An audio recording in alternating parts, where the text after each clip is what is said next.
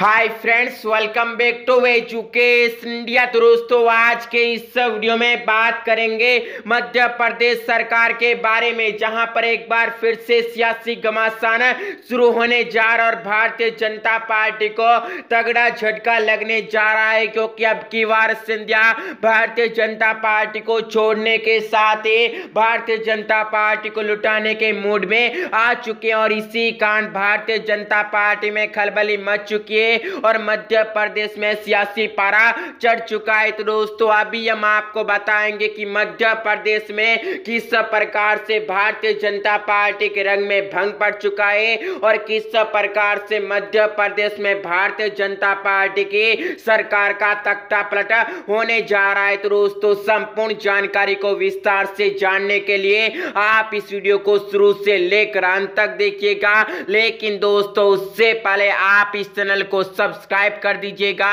और पास में दिख रहे घंटी के निशान को अवश्य दबाइएगा ताकि दोस्तों आपको आगे भी आपके काम की और मध्य प्रदेश सरकार के बारे में हर एक जानकारी सबसे पहले देखने को मिले और साथ ही दोस्तों आप इस वीडियो को लाइक और शेयर भी कर दीजिएगा ताकि आपका सपोर्ट भी इस वीडियो को मिल जाए। तो दोस्तों चलिए अभी हम देखते हैं मध्य प्रदेश सरकार के बारे में संपूर्ण जानकारी। और आपको बताते हैं कि किस प्रकार से मध्य प्रदेश में एक बार फिर से सियासी महाभारत शुरू हो चुकी है। तो मध्य प्रदेश में सियासतुबाल मारना शुरू कर चुकी है, जिसके बाद में भारतीय जनता पार्टी की सरकार को बड़ा नुकसान हो सकता है, जहाँ पर अपने गढ़ में लगे पोस्टर से गायब हो चुके हैं सिंधिया और सिंधिया भारतीय जनता पार्टी से हो चुके हैं नाराज़ और इसी कांत तगड़ा और बड़ा झटका लगने के साथ ही भारतीय जनता पार्टी को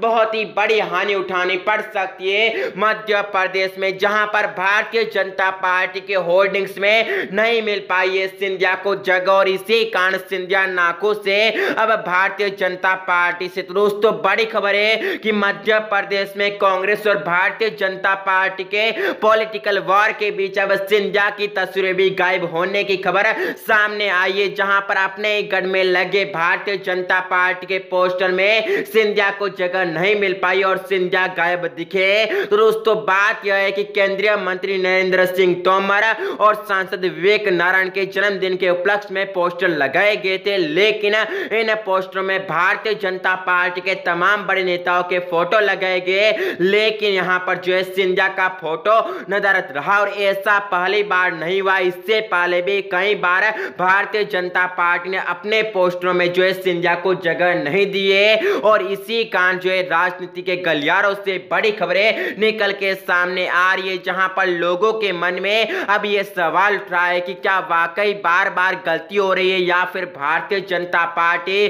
सिंधिया को अपनाने को तैयार ही नहीं है, यानी सिंधिया को बाहर करना चाहती है। भारतीय जनता पार्टी, ये बहुत ही बड़े सवाल लोगों के मन में उठ रहे और इसी कारण राजनीति के सियासी गलियारों में तापमान चढ़ चुका और भारतीय जनता पार्टी को बड़ा नुकसान होने का अंदेशा लगाया जा रहा है, जिसके बाद में भारतीय जनता पार्टी में खलबली मच चुकी और भारतीय जनता पार्टी में हड़कम मचने के साथ ही कांग्रेस पार्टी में खुशी की लहर दौड़ पड़ी है, क्योंकि कांग्रेस पार्टी जो चाले चल रही है, वह कामयाब होती हुई नज़र आ रही है और भारतीय जनता पार्टी की सरकार पर संकट और भी ज़्यादा गहराता जा रहा है। तो दोस्तों, इस प्रकार से ये मध्य प्रदेश के सियासी जंग को लेकर और संग्राम को लेकर बहुत ही बड़ी खबर निकल के सामने आ चुकी थी। दोस्तों, यदि आपको ये संपूर्ण जानकारी अच्छी लगी और पसंद आई है तो आप इस वीडियो को एक लाइक कर दीजिएगा और साथ ही दोस्तों, इस वीडियो को अपने सभी भाइयों, बहनों, मित्रों के पास शेयर कर दीजिएगा ताकि उनको भी